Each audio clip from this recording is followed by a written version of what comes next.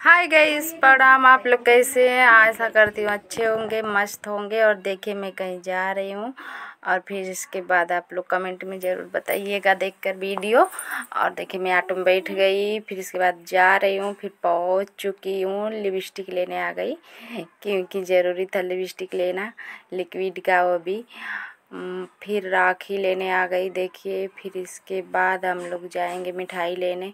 But मिठाई लेने आ गई। बट मिठाई यहाँ का अच्छा नहीं है गैस बहुत मतलब ख़राब है, बहुत गर्दा वर्दा उड़ा है। बट यहाँ से मिठाई नहीं लेंगे।